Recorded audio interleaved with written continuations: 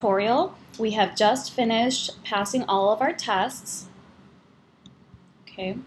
Um, if you didn't pass all of them, make sure the formatting is correct, everything is wrapped where it should be wrapped. all right, so now we are going to create the user face. So instantiating a Web3, um, there's already a folder uh, file in here that they created under source js app.js. So we're going to open it. Um, everything is wrapped within the app object. So everything is going to be contained from here to here. Okay. so this, remove the multi-line uh, comment from init web3. This is init web3 and these are comments. And we're going to copy and paste this.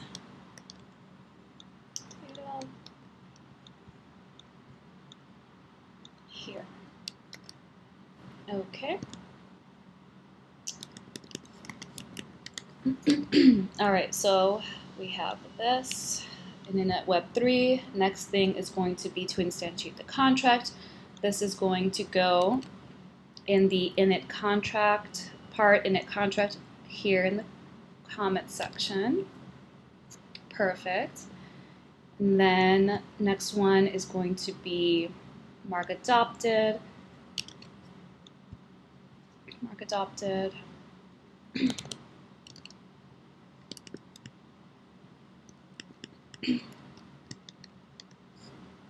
okay, so that's within our mark adopted.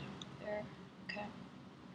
Next one. And again, I don't know how many times I have to stress this, but read all of this so that you know understand what's going on. This is just a quick tutorial so that everybody, anybody can just be up and running with this and see how easy it is to get this started. Um, this is going to go under handle adopt right here. All right. Handle adopt. Wish it would auto format. All right, sorry, it's contained within handle adopt. All right, replace it with the following, good. So now we're done. Now we're going to interact with the dApp in the browser. So with MetaMask, I'm sure we all have MetaMask accounts by now. So we're going to need to switch accounts. In order to do that, um, if you're already logged in, just click uh, lock so that it locks up your account, and then it should take you back to this um, regular home screen. One second, and it's going. We're going to import our secret phrase from Ganache. So it's gonna.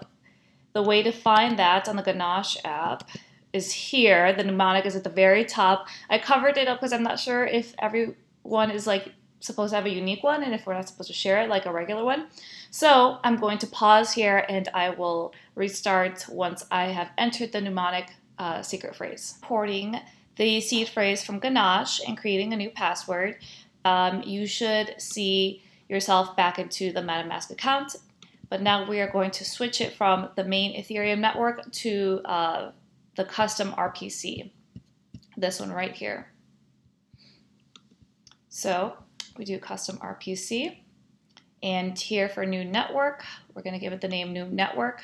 I kind of, I did it already here, but um, we'll do another one. So we'll call it new network 2, since I already did that. Uh, for the, let's see, we'll enter this for the new RPC URL. It It's going to give me an error because I also already used this chain ID for the other one. But you're going to fill this out and then you're going to click save right here. Um, it'll show up for you, but it's not showing up for me because I already have all of this information saved here on my original new, net new network. So after you hit save, um, the new network name at the top will switch over to say the new network that you're on. So uh, back up here and I'm going to switch over to the new network. That's because I already created it. Yours should automatically take you to the new network. Close out of settings. And as you can see in our new network, we will have one, approximately 100 Ether minus a few Ether that they took away for gas fees. So uh, now that we have our Ganache account set up, um, installing and configuring Lite Server. So this already came in uh, out of the box uh, you'll see bsconfig JSON here in your root directory and the package.json too, which has um, lite server, which will help us connect to the web server, so any browser. All right, so now we are going, we are ready to use our dev. So we're just going to hit npm run dev, and it should automatically launch this site onto our web browser. Now, MetaMask wallet should pop up asking us to connect, and we do want to connect, otherwise we will be unable to um, interact with the application. So we will connect, view the addresses of your permitted accounts, sure, connecting. All right, there we go. We are connected. Now we can interact with our dApp. So we can go ahead and just adopt a puppy. They're pretty cute.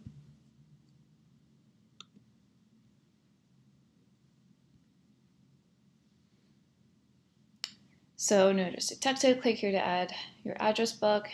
So we do want to adopt, just to confirm.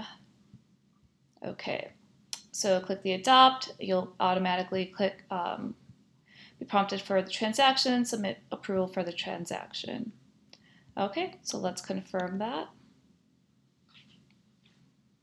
And success. Transaction confirmed. We have now adopted Gina. So let's see, it should say uh, success, and if it doesn't, try refreshing the app in your browser to trigger it.